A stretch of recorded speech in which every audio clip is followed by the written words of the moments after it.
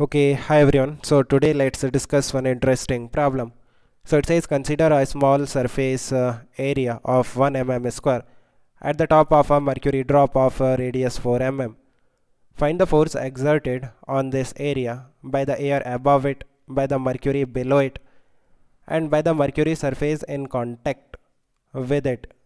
Atmospheric pressure is given, surface tension of mercury is given, neglect the effect of gravity assume all numbers to be exact fine so इस तरह से हमारे पास एक mercury drop है। इसके अंदर mercury होगा। एंड इसका जो रेडियस है that is given four m m and हमें एक स्मॉल सरफेस एरिया लेना है something like this one m m square now we have to find out the force exerted by air on this area so बाहर जो air है, बाहर जो air present है उसका प्रेशर कितना एटमॉस्फेरिक प्रेशर सो कितना फोर्स लगेगा? Let's say F one F one is the force exerted by the air outside जो एयर प्रेजेंट है on this small surface area this will be simply atmospheric pressure into area right so atmospheric pressure is given ten raise to the power five into area this will be ten raise to the power minus six metre square आपको ऐसा unit में value put करनी है so so that जो answer आएगा 0.1 this will be in SI unit, that is Newton. B check करते हैं by mercury below it so अंदर जो मर्क्यूरी है, उसका प्रेशर कितना होगा? What will be the value of pressure inside this drop that will be let's say P2 P2 will be atmospheric pressure plus excess pressure है ना?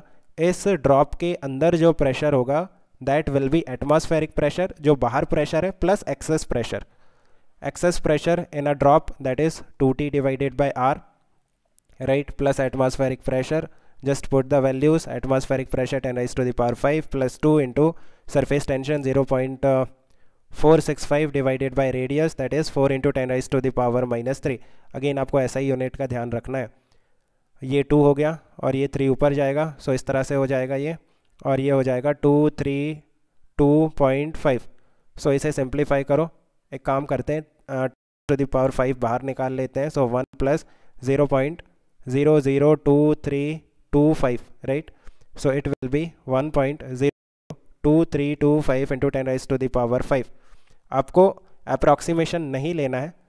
Assume all numbers to be exact right so जो values है as it is रखनी है। So this is the value of pressure inside the drop and force कितना लगेगा? F two that will be simply जितना pressure है into area so this will be one point zero zero two three two five into ten raise to the power five into area that is ten raise to the power minus six so this will be zero point one zero zero two three two five right this will be the value of F two F two क्या है?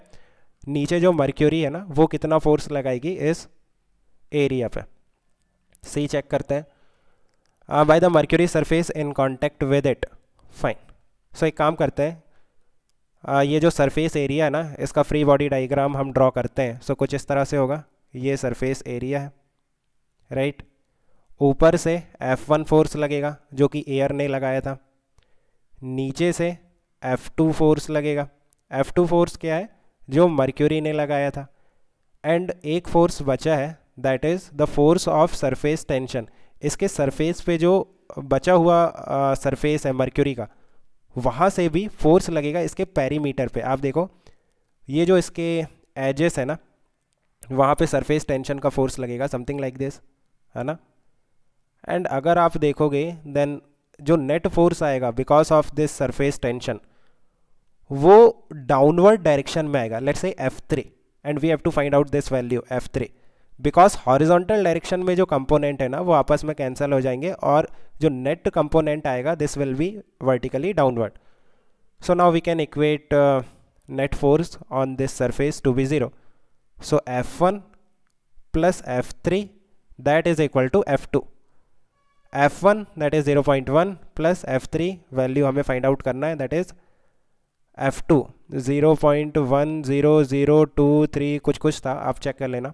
सो यहाँ से F three का value आ जाएगा। F three will be simply zero point zero zero zero two three है ना? So you can check this value I think you have understood let me know if you still have any confusion we can discuss further okay इसकी working hard best of luck bye